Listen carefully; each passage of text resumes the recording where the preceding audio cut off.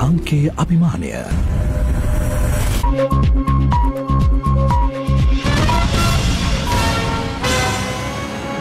And now, live at 8. අයිබෝන් එක්වන්න අදත් ඇත්ත දැනගන්න ලංකාවේ අංක එකේ සමබර තොරතුරු ප්‍රකාශය ලයිවැටේට් සමගින්. අද ලයිවැටේට් සමගින් ඔබ හමුවන මම නිමේෂ් විජයසූරිය. මම වින්ද්‍යා මාරම්භගේ සුපුරුදු පරිදි අදත් මුලින්ම ප්‍රධාන පොත් සිරස්තල.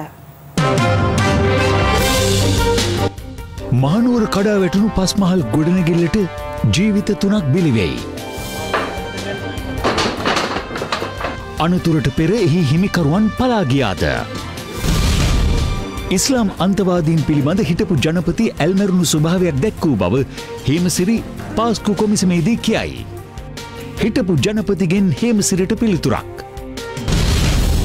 හරීන්ගේ ප්‍රකාශයට කොළඹ අගරදුගුරු පදවිය විරෝධය. විපක්ෂනායකත් ප්‍රතිචාර දක්වයි.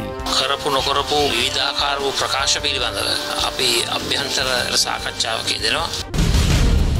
සම්මානනීය ස්වර්ණවාහිනය යළිත් රයිගම් සම්මානයෙන් පිදුම් ලබයි. අපරාධකල්ලි නායක බැරල් රංජිත් සමඟ හෙරොයින් ජවාරමය නිර්ත චොප්පේසා චුට්ටි පොලිස් අත්තරංගුවට.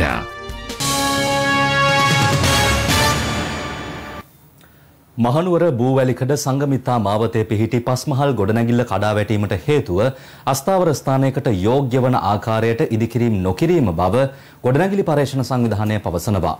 අදාළ පස්මහල් ගොඩනැගිල්ල කඩා වැටීමෙන් පහලින් පිහිටි ලැගුම්හලක සිටි තිදෙනෙකු අද ජීවිතක්ෂයට පත් වුණා. මහනුවර නගරේ සිට කිලෝමීට දෙකක් පමණ දුරින් පිහිට ඇති බූවැලිකඩ ප්‍රදේශයේ සංගමිත්තා මාවතේ පිහිටි මෙම පස්මහල් ගොඩනැගිල්ල අදාළයම පහට පමණ කඩා වැටුණා. කඳු බෑවුමක පිහිටි අදාළ පස්මහල් නිවස පහලින් පිහිටි ලැගුම් හලකට පතිත වී තිබෙනවා. අනතුරින් අදාළ ලැගුම් හලේ සිටි පස් දෙනෙකු සුන්බුන්වලට යට වුණා. මෙලෙස අනතුරට ලක්වුණේ එම ලැගුම් හලේ හිමිකරු ඔහුගේ බිරිඳ සහ ඔවුන්ගේ මාස එකමාරක් පමණ වයසති බිලිඳිය සහ තවත්කාන් තවන් දෙදෙනෙක්.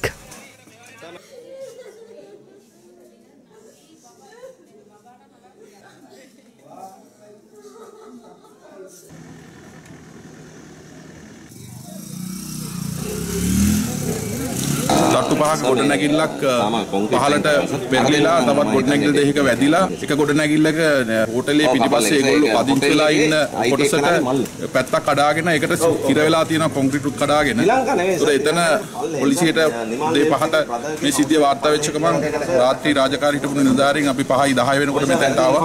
පොලිසිය ගාවෙන් නම් මෙතන කිලෝමීටර් දෙකමාරක් විතර දුර. ඉතින් ඉක්මනට ආපු නිසා ඒක කාමරයක හිටපු කාන්තාවන් දෙදෙනෙක් පොලිසිය බේරගෙන ඊට පස්සේ ආපදා කල්පනා කරන එකට කතා කරලා යුද හමුදාව සහ ගුවන් හමුදාව ඒ කණ්ඩායම් ගෙන්න ගත්තා උදේ ඒ වතුර පාරක් ඇවිල්ලා තියෙනවා. මේ ගොඩනැගිලි අතරින් ආපු යටින් යන වතුර පහුගිය දවස් කීපෙම දැඩි වර්ෂාපතනයක් තිබුණා. ඒ වතුර පාරක් ඇවිල්ලා ඒ හොදා යාමන් නිසා තට්ටු පහේ මේ ගොඩනැගිල්ල පහළට ලිස්සා ගිහිල්ලා මේ ගොඩනැගිලි දෙයක් මතට පෙරලා තියෙනවා. දිගීස් කාල කඩා වැටුණා.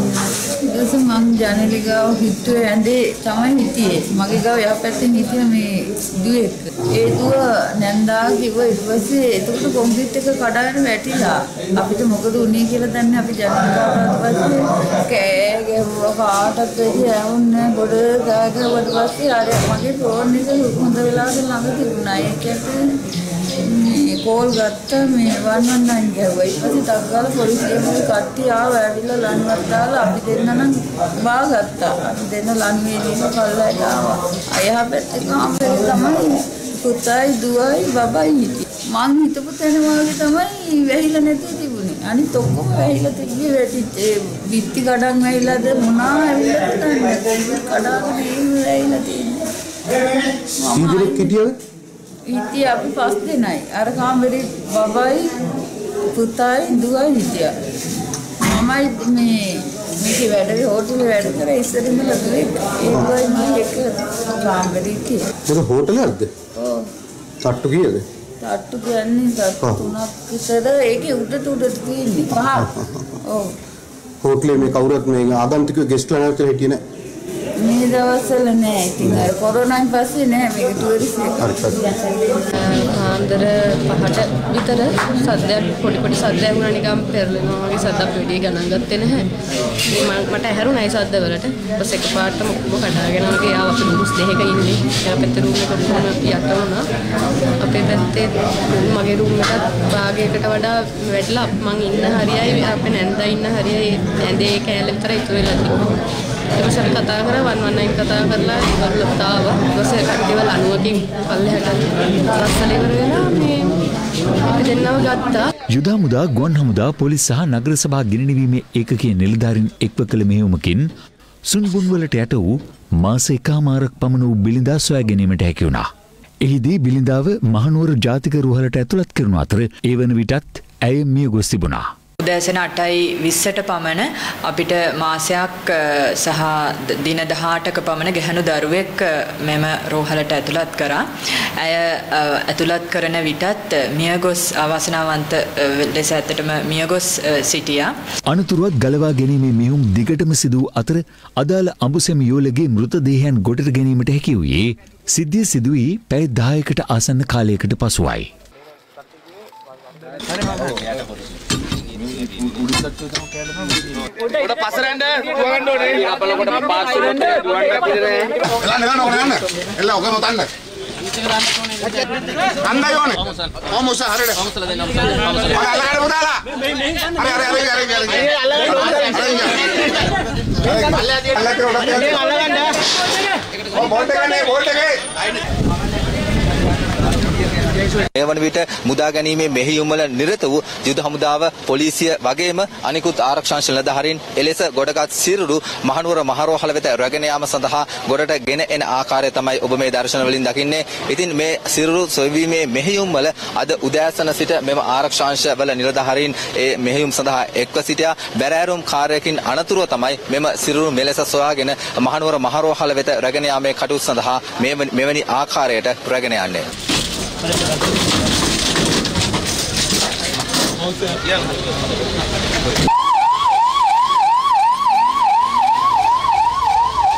ඇත්තටම මේ මෙහෙයුම සම්බන්ධයෙන් ඔබතුමන්ට අද උදෑසන සිට ඔබ ඇතුළු කණ්ඩායම මේ මෙහෙයුම සඳහා එක්ව සිටියා. ඒ අවසාන ප්‍රතිඵලය හැටියට මේ සුන්බුන් අතර සිරවී සිටි ඒ අමුසැඹියෝලගේ සිරුත් සොයා ගැනීමට හැකියාව ලැබුණා. මේ මෙහෙයුම සම්බන්ධයෙන් ඔබට යමක් කියන්නට ඇති. හිතන්නේ ඔබ සීලු දෙනාම දකින්න ඇත ඒ තරම් විශාල පස්මහල් නිවසකට යට වෙලා තිබේ එම අමුසැවි යුවල ගැනීමට හැකි වුණේ මම හිතුවේ මම හිතුවේ නෑ මෙච්චර ඉක්මනට ගැනීමේ හැකියාවක් තියෙයි කියලා මම ඒ ඒ කටයුතු කරපු සියලු දෙනාටම ස්තුතිය පුද කරනවා මේ අවස්ථාවේ. චන්දන මහත්මයා ඔබතුමාටත් යමක් කියන්නට ඇති. එනිසා මේක මං හිතන්නේ ඉතා ඉක්මනින් මේ අවාසනාවන්ත සිද්ධියක් වුණත් මේ ගොඩනැගිල්ල කඩා වැටුණත් මියගිය පුද්ගලයන්ගේ සිරුරු දෙක මේ වෙලාවේදී අපේ අරගන්න ලැබ. මෙලෙස මියගේ මහනුවර බූවැල්කඩ ප්‍රදේශයේ පදිංචිව සිටි තිස් පස් හැවරදි චමිල ප්‍රසාද් සහ ඔහුගේ බිරිඳ වන තිස් දෙහැවරදි අචලා ඒකනායක මහත්මිය සහ ඔවුන්ගේ දියණය වන ඔනෙලා ඒකනායක යන අයයි. ඔවුන් පසුගේ වසරේ විවාහදිවයට එළඹ තිබුණා. සිද්ධෙන් මියගිය අචලා ඒකනායක මහත්මිය නීතිඥවරයක් ලෙස සහ කතිකාචාරවරයක් ලෙස කටයුතු කළායෙක්. මේ අතර මහනුවර බූවැලිකඩ සංගමිත්තා මාවතේ කඩා වැටනු පස්මහල් ගොඩනැගිල්ලේ හිමිකරු එම අනතුර සිදුවීමට මොහොතකට පෙර සිය පවුලේ සමාජිකයන් සහ ගෙදර සිටි සුනකින්ද රැගෙන නිවසින් පිටත්ව ගොස් ඇති බවට වාර්තා වනවා. අදාළ ප්‍රදේශයේ පදිංචිකරුවන් පැවසුවේ ඔහු හිටපු බස්නායක නිලමේවරයෙකු බවයි. ගොඩනැගිල්ල කඩා වැටුණු එකේ මේ ගැන ගොඩනැගිල්ල අයිතිකාරයා පාන්දර ගිහිල්ලා තියෙනවා ගෙදර කට්ටියයි ඔක්කොම බල්ල පූස ඔක්කොමත් දාගෙන කියන එක එක සත්‍යයක්ද අපිට එහෙම එකක් වාර්තා වෙලා තියෙනවා තාම එහෙම පෙරපුරක් වාර්තා වෙලා නැහැ. නමුත් ඒ ගැන විමර්ශනයක් කරනවා වානුවර පොලිසියෙන්. ඒ කියන්නේ පොලිසියට එහෙම දෙයක් වාර්තා වෙලත් නැද්ද පොලිසියට එහෙම පැටලක් වාර්තා වෙලා නැහැ. ඔව්. සම්බන්ධයෙන් විමර්ශනයක් කරනවා. ඒ පුද්ගලයා පොලිස් නිලධාරීන් එක්ක සම්බන්ධතා පවත්වන පුද්ගලයෙක් කියලා තමයි ආරංචියක් තියෙන්නේ. ඒ නිසා මේක සම්බන්ධයෙන් නමක්වත් තාම එළියට එන්නේ නැහැ කියලා තියෙනවා. ඒ අදාළ පුද්ගලයාගේ නම එහෙම අපිට දැනගන්නත් බැරිද? ඒ ගැන තොරතුරු නම් දන්නේ නැහැ. නම ගැන නම් කායිද කියලා. නමුත් ඒ ගෙදර පිරිසක් ඉඳලා තියෙනවා කියලා තොරතුරු තියෙනවා. කවුද කියලා ඉඳලා තියෙන්නේ කියන එක ගැන තාම අනාවරණය වෙලා නැහැ. මේ අතර සිද්ධිය උස්සානයේ ස්ථානීය පරීක්ෂණය අද පස්වරුවේ මහනුවර මහිස්ත්‍රාත්වරයාගේ සහභාගිත්වයෙන් සිදු කෙරුණා. කෙසේ වෙතත් අදාළ පස්මහල් නිවස කඩාවැටීම හේතුවෙන් ඒ ආසන්නේ පදිංචිව සිටින පවුල් හතරක පිරිස් එමසානවලින් ඉවත් කිරීමට මේ වන විට පියවරගෙන ඇති බව ගොඩනැගිලි පර්යේෂණ සංවිධානයේ මහනුවර දිස්ත්‍රික් භාර භූ විද්‍යාඥ සමන්ත බෝගහපිටිය මහතා පවසනවා. මෙතන භූමියේ තියෙන තත්ත්වයන් ගණනාවක් අපි නිරීක්ෂණය කරා. එකක් තමයි මේක නිම්නාකාර ස්ථානයක්. ඒ වගේම තමයි නිම්නාකාර ස්ථානයකට තමයි සාමාන්‍යයෙන් පොළොවේ තියෙන ජලය භූගත ජලය එකතු වෙන්නේ. තේම ගැටලුවක් තියෙන සහ ඒ අස්ථාවර තත්ත්වයන්ට යෝග්‍ය වෙන විදියට ඉදිකිරීම සැලසුම් වෙලා නැති එකක් තමයි අපිට දැන් නිරීක්ෂණය වෙන්නේ. ඒක නිසා තමයි මේ කඩාවැටීම සිද්ධ වෙලා තියෙන්නේ. මොකද තට්ටු පහක ගොඩ නැගිල්ලක් තට්ටු පහ ගොඩ නැගිල්ලක් කියන ලොකු බරක් එවැනි බරක් රඳවා ගන්න ඒ රඳවා ගන්න පුළුවන් ස්ථානවල මේවා පාදම් කරන්න ඕනේ. එහෙම නොවීම නිසා තමයි මේ මේ කඩාවැටීම සිද්ධ වෙලා තියෙන කියන එක තමයි දැනට අපේ නිරීක්ෂණ වලින් අපිට නිගමනය කරන්න පුළුවන්කම තියෙන්නේ. තරම ගත්තොත් මේක වචනේ පරිසමාප්ත අර්ථයෙන් ගත්තයින් පස්සේ ආයේ මේ සංසිද්ධියක් නෙමෙයි. පාස්කු ප්‍රහාරයට පෙර සහරාන් පිළිබඳව තොරතුරු ලැබී තිබියදීත් ඔහුව අත්අඩංගුවට ගැනීමට නොහැකිවීම කෙරෙහි මුස්ලිම් දේශපාලඥයින්ගේ බලපෑම් තිබෙන්නට ඇතැයි තමා විශ්වාස කරන බව හිටපු ආරක්ෂක ලේකම් හේමසිරි ප්‍රනාන්දු මහතා සඳහන් කළා. ජනාධිපති කොමිසම හමුවේ සාක්ෂි ලබා දෙමින් ඔහු වැඩිදුරටත් සඳහන් කළේ තමාගේ ජීවිතයට තර්ජන පවතින බවයි. පාස්කු ප්‍රහාරය සම්බන්ධයෙන් විමර්ශනය කරන ජනාධිපති පරීක්ෂණ කොමිසම හමුවේ හිටපු ආරක්ෂක ලේකම් හේමසිරි ප්‍රනාන්දු මහතා සිව්වන දිනටත් සාක්ෂි ලබා දුන්නා. හිටපු ආරක්ෂක ලේකම් හේමසිරි ප්‍රනාන්දු මහතා කොමිසම හමුවේ සාක්ෂි ලබා දෙමින් සඳහන් කළේ ඉස්ලාම් රාජ්‍ය සංවිධානය සහ අල් කයිඩා සංවිධානය වැනි ත්‍රස්ත සංවිධානවලට සම්බන්ධ වී ආයුධ පුහුණුව ලබා නැවත මෙරටට පැමිණි ශ්‍රී ලාංකිකයන් සහ විදෙස් රටවල සිට මෙරටට පැමිණ අන්තවාදී දේශන පැවැත්වූ පුද්ගලයන් පිළිබඳව ජනාධිපතිවරයා පෞද්ගලිකවම දැනුවත් කිරීමට තමන් පියවරගත් බවයි. ජනාධිපතිතුමා මොන වගේ ප්‍රතිචාරයක් දේ ගැන ඔබට දැක්වුවේ. මේ ඕවගෙන පරිස්සමෙන් වැඩ කරන්න ඕනේ මුස්ලිම් දේශපාලකින් එක්ක ප්‍රශ්න ඇති කරගන්න බැහැ. ඒ නිසා හිමින්සරේ බලමු කියලා තමයි කිව්වේ. ඒ ඇයි කියලා ඇහුවේ නැත්ද? විදායක ජනාධිපතිතුමාගෙන් මට ඔයිට වඩා අහන්න බැහැ. මේ වගේ ප්‍රශ්නික තීබිගමනින් නෙමෙයි ඉතා ඉක්මනින් පියවර ගන්න ඕන කියලා ජනාධිපතිතුමාගේ අවධානය යොමු කළේ නැද්ද? අපි මේ වගේ දෙයක් ආවහම ආරක්ෂක මණ්ඩලයේදී කතා කරනවා. මට පෞද්ගලිකව කතා කරන්න බැහැ. යම්කිසි කණ්ඩායමක් අපි අතරේ නෝකාඩුවක් ඇති කළා. එතුමා විරසකුණා මාත් එක්ක. අපි ඈත් වුණා. මට ඔහු ගැන කලකිරීමක් ඇති වුණා. මං ඉතින් කොහොමත් හිටියේ අයින් වෙන්න. සහරාන්ට පින් සිද්ධ වෙන්න ඒක ඉක්මන් වුණා. එමෙන්ම පසුගිය රජයේ සමයේදී විවිධ අපරාධකරුවන් අත්අඩංගුවට ගැනීමේදී මුස්ලිම් දේශපාලනඥයින් මැදිහත් වී ඒවා නැවැත්වූ අවස්ථා රැසක් තිබූ බවද හේමසිරි ප්‍රනාන්දු මහතා සඳහන් කළා. පාස්කු ඉරුදින බෝම්බ ප්‍රහාරය වන තෙක්ම ජාතික තවහිද් ජමාත් නායක සහරාන් හෂිම් අත්අඩංගුවට ගැනීමට නොහැකි වූයේ දේශපාලන බලපෑම් නිසාදැයි රජයේ අතිරේක සොලිසිටර් ජනරාල්වරිය හේමසිරි ප්‍රනාන්දු මහතාගෙන් විමසුවා. ඔව් මට යම්තාක් දුරකට එහෙම හිතෙනවා. ඒ වන විට සහරාන් දේශපාලන පක්ෂයකින් මැතිවරණයකට පවා ඉදිරිපත්ව සිටියා. ඒ වගේම සහරාන් එක්තරා පළාත් පාලන මැතිවරණයකට තරඟ කළ බව මට දැනගන්නට ලැබුණා. අන්තවාදී අදහස් දරන පුද්ගලයන් සම්බන්ධයෙන් නීතිමය පියවර ගැනීම සඳහා ප්‍රමාණවත් ප්‍රතිපාදන තිබුණාද යන්න කොමිෂන් සභාව සාක්ෂිකරුගෙන් විමසුවා. නීති රාමුව තුළ ඒ පිළිබඳව පියවර ගැනීම සඳහා ගැටලුවක් නොතිබුණත් විවිධ දේශපාලන බලපෑම් නිසා යම් යම් ගැටලු ඇතිවුණා. වවුනතිව් පොලිස් නිලධාරීන්ගේ ඝාතනය, මාවනැල්ල බුදු පිළිම කැඩීම, වනාතවිල්ලුව පුපුරණ ද්‍රව්‍ය සොයා ගැනීම භයානක බව වැටහුණේ නැද්ද? වැටහුණා ස්වාමීනි. ඒත් නැගෙනහිර දේශපාලන ක්‍රියාවලියේ හැසිරීම ගත්තම ඔවුන් රජයට කොතරම් අවශ්‍යද කියන එක ගැන සැලකිල්ලට ගනිද්දී පියවර ගැනීම කරන්න පුළුවන් දෙයක් නෙවෙයි. ජාතික ආරක්ෂාවට වඩා වෙනත් කාරණාවක් වැදගත්ද? ජාතික ආරක්ෂාවට වඩා වෙනත් දේවල් වැදගත් වුණා කියලා ඍජුව මට කියන්න බෑ. නමුත් මුස්ලිම් දේශපාලකයන්ට අවශ්‍ය විදිහට බොහෝ දේවල් වුණා.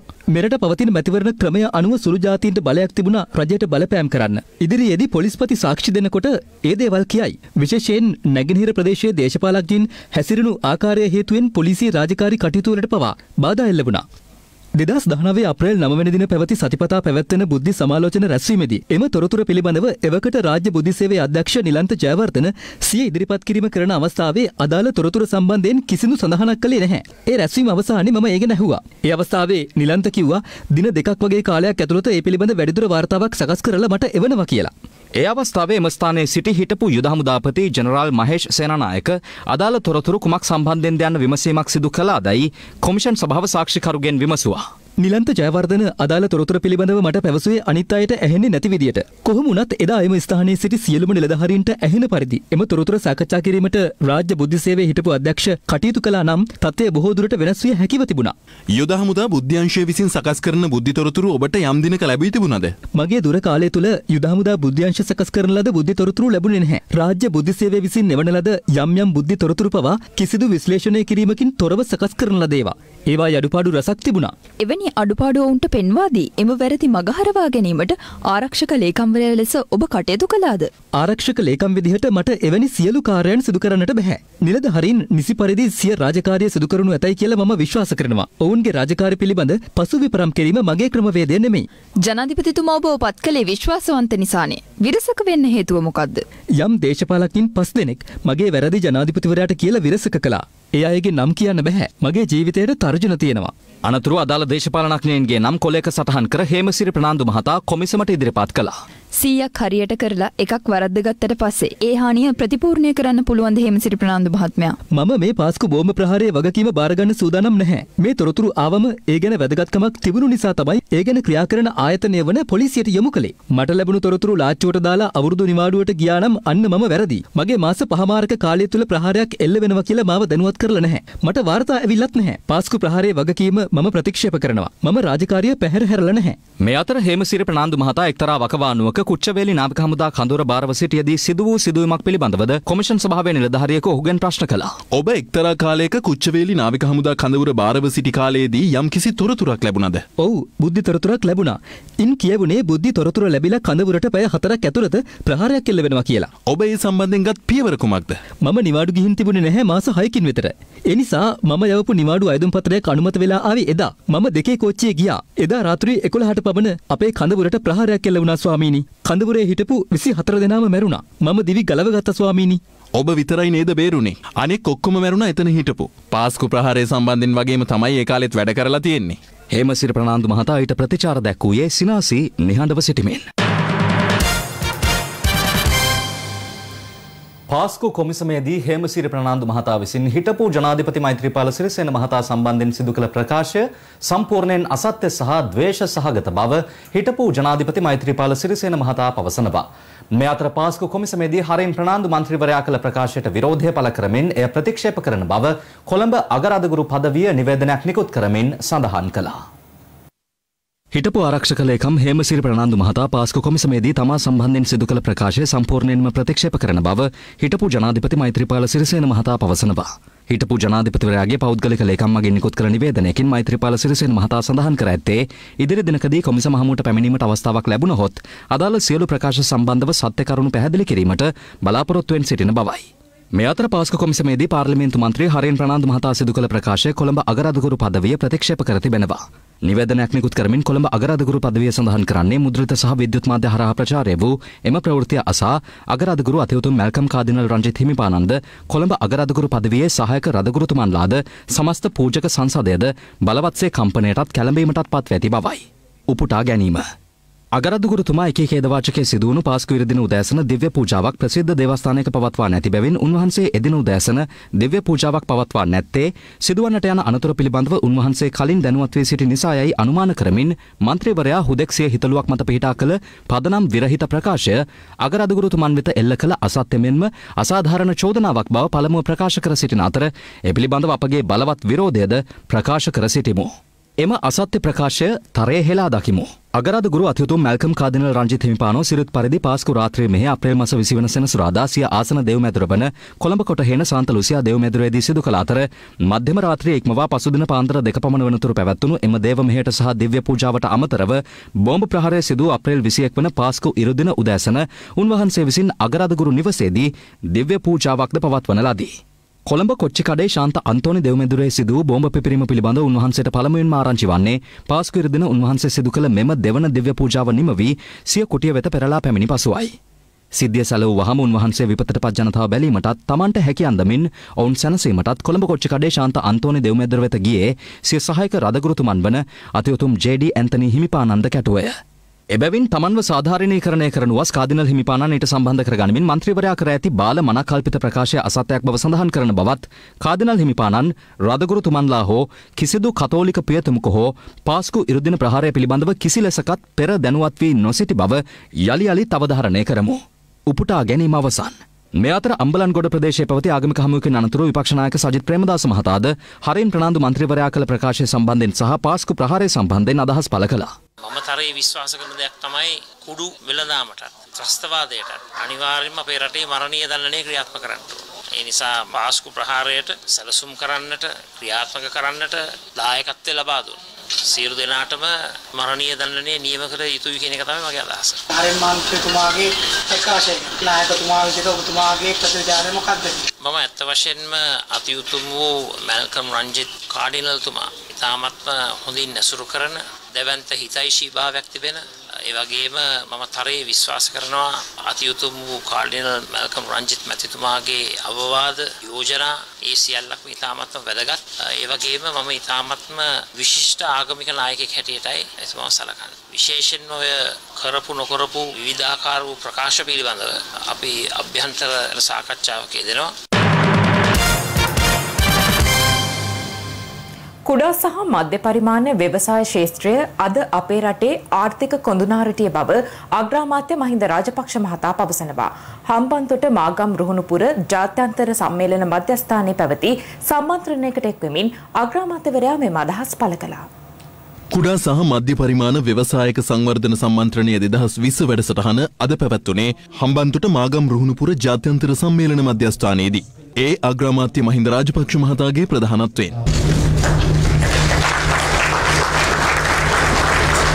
තීරණාත්මක ප්‍රතිපත්ති මේ තීරණ පහුගිය කාලේ පුරාම අරගෙන. මේ තීරණාත්මක සමහර ප්‍රතිපත්ති මේ තීරණ උනත් පල්ලෙහාට ගලාගෙන යන තත්ත්වයකට පත් කිරීම තරතරම් පහසු වෙලා නැහැ. ඒ මොකද අපේ රාජ්‍ය යාන්ත්‍රණයේ තිබෙන සමහර ගතානුගතික ආකල්ප නිසා. එහෙම නැත්නම් පහුගිය ආණ්ඩුව රාජ්‍ය යාන්ත්‍රණයේ බොහෝ දෙනෙක්ව උසාවි ගානට අරගෙන ගිය හින්දා ඇති වී තිබෙන බිය සහ චකිතය නිසා. මේ මොන හේතුව නිසා හරි මේ පරට ගලාගෙන යාමේ තිබෙන දුබලතාවය අපි ඉතා ඉක්මනින් කාමකාගත යුතුයි. මම හිතන්නේ අද මම ඊටම සන්තෝෂ වෙනවා. මේ ශාලාවේ මේ සම්මන්ත්‍රණය පැවැත්වීම ගැන වාසනාවට වී එහෙම ගබඩා කරේ නැති නිසා මේ සම්මන්ත්‍රණ ශාලාව ඔබට පාවිච්චි කරන්න හද ඉඩ තියෙනවා. උඩා සහ මධ්‍ය පරිමාණ ව්‍යවසායක අංශය අද අපේ රටේ ආර්ථිකයේ කුඳුර ආරට්‍යයි කියලා කිව්වොත් ඒක නිවැරදි. ඒ අපේ රටේ සෑම අංශයකම නියෝජනය වීම වැදගත් අපිට සතුටු වෙන්න පුළුවන්. හම්බන්තොට දිස්ත්‍රික්කයේ පිහිටි බැංකු 9ක ගනුදෙනුකරුවන් වෙනන් 300ක් පමණ වැදගත් සම්මන්ත්‍රණයට සහභාගී වෙනවා කියලා මට දැනගන්න තියෙනවා. මම ඒක ඉතාලගේ කරනවා. මුදල් අමාත්‍යාංශය යටතේ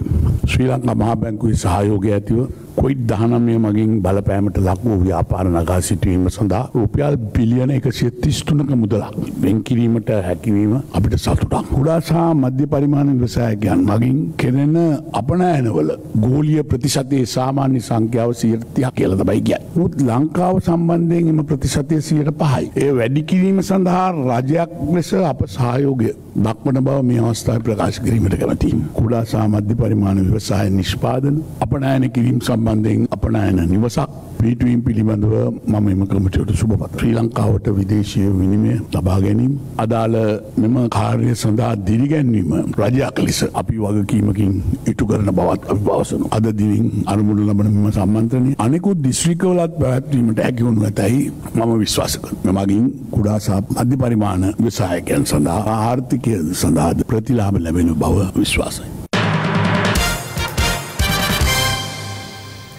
ඊයේ රාත්‍රී පැවති රයිගම් ටෙලි සම්මාන උළෙලේදී සම්මාන රැසක් හිමි කර ගන්නට මෙවරත් ශ්‍රී ලාංකේය අභිමානය ස්වර්ණ වාහිනියට හැකියාව ලැබුණා. සම්මාන උළෙල පැවැත්වුණේ කොළඹ ශැංග්‍රිලා හෝටලේදී.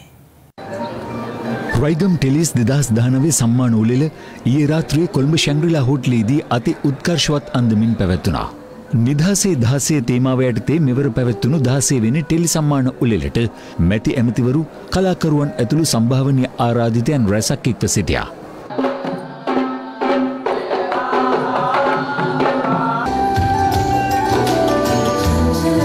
ශ්‍රී ලාංකේ අභිමානයේ ජනහදවත් තුළ යළි යළිත් තහවුරු කරමින් සම්මානනය වන්නට ස්වර්ණවාහිනයට හැකිවුණා. ස්වර්ණවාහිනි නාලිකාවේ විකාශය වූ හර්ෂ ජීව අබේකෝ නිෂ්පාදනය කළ නාඩිය වැඩසටහන. රටේ අනාගත පරපුර රට කරවන දේශපාලනඥයන් ප්‍රශ්න කරන සංකල්පය යටතේ නිර්මාණය වූ පළමු රූපවාහිනී වැඩසටහන් ලෙසින් විකාශය වූ නාඩිය වැඩසටහන මෙවර සම්මාන උළලේදී වසරේ විශිෂ්ටතම කතිකා වැඩසටහනට හිමි සම්මානය දිනාගත්තා. මෙ අතර ඉහළ ප්‍රේක්ෂක ප්‍රතිචාර දිනාගත් මහරජ කන්සා ටෙලිනාට්ටි වෙනුවෙන් වසරේ විශිෂ්ටතම හඬකැවීම් වැඩසටහන සඳහා වූ සම්මානය ස්වර්ණවාහිනී හඬකැවීම් අංශයට හිමි වුණා. රයිගම් ටෙලි සම්මාන උලේ විශිෂ්ටතම පසුබිම් ගායිකාව ලෙස ස්වර්ණවාහිනිය ඔස්සේ විකාශය වූ කලික් ටෙලිනාට්ටේ ගීතය වෙනුවෙන් ජනප්‍රිය ගායන ශිල්පිනේ රයිනි චාරුකා ගුණතිලක සම්මාන දෙනාගත්තා. මෙ අතරේ වසරේ විශිෂ්ටතම ටෙලිනාට්‍ය නළුවා ලෙසින් සම්මානයට පාත්‍ර වූයේ ආනන්ද කුමාරයි. ප්‍රවීන් කනිෂ්ක වසරේ ජනප්‍රියම නළුවාට හිමි සම්මානය දිනාගත්තා. එමෙන්ම වසරේ විශිෂ්ටතම ටෙල්නාට්‍ය නිලිය සහ වසරේ ජනප්‍රියම ටෙල්නාට්‍ය නිලිය යන සම්මාන ද්විත්වයෙන්ම පිදුම් ලැබුවේ මේ දිනවල ස්වර්ණවාහිනිය ඔස්සේ විකාශය වන අග්නි පියාපත් ටෙලිනාට්‍ය ඔස්සේ සුවිශේෂී රංගනයක නිරත වන ශලනී තාරකයි. ඉතිහාසයේ මුලින්ම එකම සම්මාන උළලකදී හොඳම නිලිය සහ ජනප්‍රියම නිලිය කියන සම්මාන දෙකම දිනාගත් එක්දා සමසය හැට නමේ. මෙලෙසේම සම්මාන දිත්වයම එක් අයිකුට ලැබුණේ වසර විසි හතරකින් අනතුරුවයි. ජීවිත එක්වරක් පමණක් පිදින විශේෂ ප්‍රනාම සම්මාන හිමි වූයේ විශාරද මනෝජ් පීරිස් මහතාට සහ ලියෝනි කොතලාවල මැතිනයටයි. ප්‍රතිභා ප්‍රභා ගෞරව සම්මානයෙන් පිදුම් ලැබුවේ සුමිත්‍රා පීරිස් මැතිනියයි. Live at 8. විරාමෙන් අනතුරු තවත් දේශීය පුවතක් වෙතයි දැන් අවධානය. සංවිධානාත්මක අපරාධ හා මද්‍රව්‍ය චාවාරම් මැඩලීම සඳහා බස්නාහිර පළාත් ඇතුළු ප්‍රදේශ රැසක සිදු කරන ලද වැටලීම්වලදී ප්‍රධාන ජාවාරම්කරුවන් සිව්දෙනෙකු ඇතුළු පුද්ගලයන් තුන්සේ තිස් නව දෙනෙකු ඊයේ සහ අද යන දෙදින තුළ අත්අඩංගුවටගෙන තිබෙනවා. මෙම පිරිස අතර සංවිධානාත්මක අපරාධ කල්ලි නායකයෙකු වන මොහොමඩ් ෆාරුක් නොහොත් බැරල් රංචි යන පුද්ගලයාද වන බවයි පොලිස් මූලස්ථානය ප්‍රකාශ කළේ.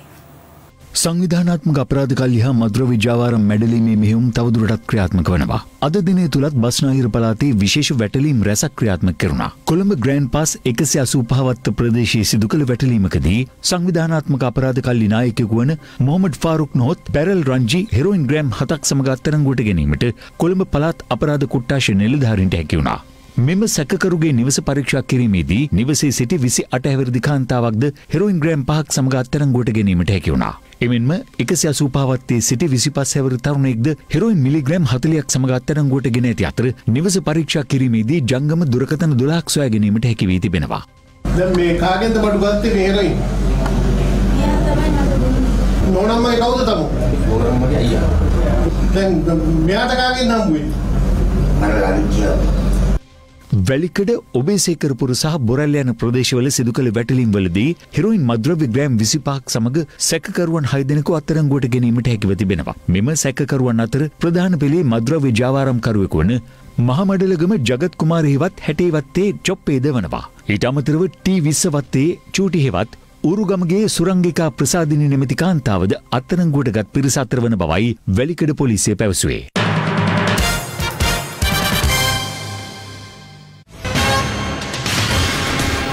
ඔබනවතත් ලයි වැටේට සමගින්. බ්‍රිතාන්‍යයේ නිරෝධායන නීති කඩ කරන අයට එරෙහිව නීතිරීති දැඩි කිරීමට එරට රජය පියවරගෙන තිබෙනවා. ආසාදිතින් තුන්දස් දෙසිය අසුත්තුන් දෙනෙක් මෙරටින් මේ වන විට වාර්තාවන අතර අද රෝගීන් දහට දෙනෙක් සුවය ලැබීමත් සමඟ මෙරටින් වාර්තාවන සෝපත් වූවන් සංඛ්‍යාව තුන්දහස් අසූ අටක් දක්වා ඉහළ ගියා. ඊයේ දිනේ විදේශන්හි සිට පැමිණි පුද්ගලින් දෙදෙනෙක් COVID-19 ආසාධිතයන් ලෙස හඳුනාගත්තා. එමෙන්ම අද ප්‍රතිකාර ලබමින් සිටි ආසාධිතයන් දහට දෙනෙක් පූර්ණ සුවය ලබා රෝහල්වලින් පිටත්ව ගොස් තිබෙනවා. මේ අතර අදත් මගින් රගත් ගුවන් යානා කිහිපයකින් පුද්ගලින් එකසේ තියකට වැඩි පිරිසක් මෙරටට පැමිණියා. අද වන විට විශ්වවිද්‍යාල ඒවගේම පාසල් සියල්ලම විවෘත්තයි පාසල් ශිෂ්‍යෝ කියන්නේ විශාල ජනරාජ කණ්ඩායම ඔවුන්ගෙන් යම්කිසි විදියකින් කොවිඩ් 19 රෝගය තිබුණොත් යම්කිසි විදියකින් පැතිරීමේ අවධානමක් තියෙනවා. ඉතින් ඒ නිසා පාසල් ශිෂ්‍යෝ, දෙමාපියෝ සහ ගුරුවරු තමුන්ගේ වගකීම ඉෂ්ට කරන්න ඕන. උණ කැස්ස සම්ප්‍රතිශ්‍යාව උගුර අමාරු වගේ ශ්වසන රෝගයක් තියෙනවා නම් ඔවුන් පාසලට පැමිණීමෙන් වැළකී සිටිය යුතුයි. ගතෝ දිනේ ඉන්දියාවෙන් COVID-19 මරණ දහස ඉක්මවා වාර්තා වී ඇති අතර පවතින තත්ත්ව හේතුවෙන් ඉන්දිය පාර්ලිමේන්තුවේ සැසිවාරයේ එළමෙන බදාදා අවසන් කිරීමට නියමිත බවයි වාර්තාවන්. බ්‍රිතාන්‍ය සිතන්නේ නව කොරුණා වෛරසය පැතිරීමේ සීග්‍රතාවක් පෙන්නුම් කරන අතර මේ හේතුවෙන් එහි නිරෝධායන නීතිරීති දැඩි කිරීමට පියවරගෙන තිබෙනවා. එහි කිසියම් පුද්ගලෙක් නීතිරීති කඩකළොත් එම පුද්ගලයාට එරෙහිව පවුම් දසදහසක දඩමුදලක් නියම කිරීමට නියමිතයි. ඒ ශ්‍රී ලංකා මුදලින් රුපියල් ලක්ෂ විසිතුනකට අධික වන අතර මෙම නව නීතිරීති සැප්තැම්බර් විසි අටවනිදා සිට ක්‍රියාත්මකයි. දැන් රට වටින් අටට. වට වටින් අටට. ශ්‍රියෆෙන් බඩුමල්ල දිනාගත් ජයග්‍රහකින් හට බඩුමලු බෙදාදීම සඳහා ශ්‍රීෆෙම් කණ්ඩායම අද හම්බන්තොට මිරිජ්ජවිල ප්‍රදේශයන්හි ගමන් කළා. ඌව පරණගම අමගස්ලුව ප්‍රදේශයේ යතුරු පැදි දෙකක් එකිනෙක් ගැටීමෙන් අනතුරක් සිදුව තිබෙනවා. ඒ පසුරුවේ සිදූ එම අනතුර අසල තිබූ CCTV කැමරාවක මෙලෙස සටහන්ව තිබුණා. අනතුරින් බරපතලතුව ලැබූ කාන්තාවක් සහ පිරිමි පුද්ගලයෙකු වැලිමට සහ බදුල රුහල්වල ප්‍රතිකාර ලබන බවයි අපවාර්තාකරු සඳහන් කළේ. ක්‍රීඩ අමාත්‍ය නාමල් රාජපක්ෂ මහතා සහ බිරිඳ ලිමිනි රාජපක්ෂ මහත්මිය අද දින සිය අලුත උපන් පුතුනුවන් සමඟ ඔවුන්ගේ කොළඹ පිහිටි නිවසට පැමිණියා. මෙම අවස්සාාවට අග්‍රාමාත්‍ය මහින්ද රාජපක්ෂ බිරිඳ ශිරන්ති රාජපක්ෂ සහ ලිමිනි රාජපක්ෂ මහත්මියගේ දෙමාපියන් සහ හිත මිත්‍රාදීන් පිරිසක් එක්ව සිටියා. එසමගින් ලයිවැටයට අදට අවසන් ඔබට සුභරාත්‍රයක්.